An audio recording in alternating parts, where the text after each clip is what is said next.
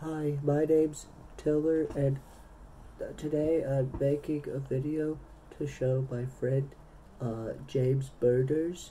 Shout out to James Birders, by the way, to to show him that my that my mouse pad here, my cool, really, really cool Mionix uh, Propus uh, 380 makes a really cool bubble sound when I do the when I like bend it like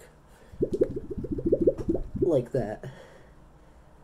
I'll, I'll do it one more time just in case you didn't catch it.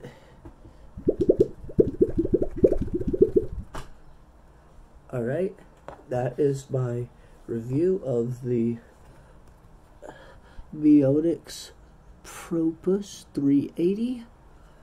Uh, thank you for viewing this video. Uh, don't forget to leave a like and a comment and also subscribe. It really helps the the the channel out, and it would help me out a lot because it makes me feel good inside when people like and comment on the videos.